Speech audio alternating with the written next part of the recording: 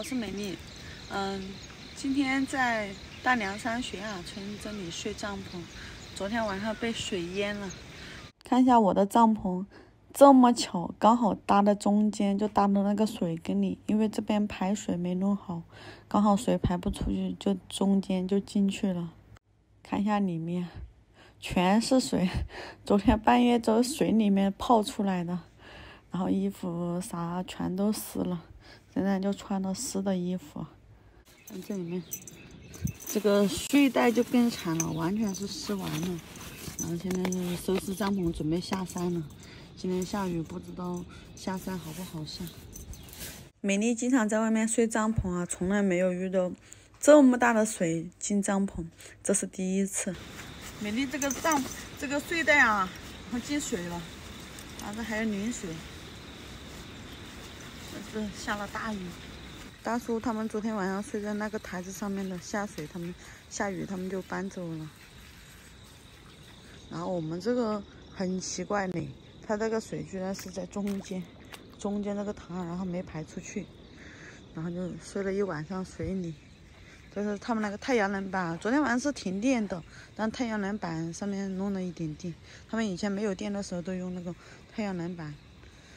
这个两年没住了，这个瓦房的话肯定是会漏雨的。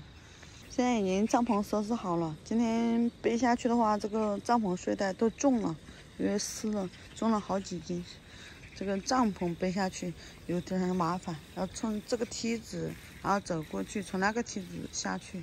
就他们都喜欢睡在房顶上，很神奇啊，这种习惯。每次爬这个梯子我都好害怕哟，你看这个感觉又不结实。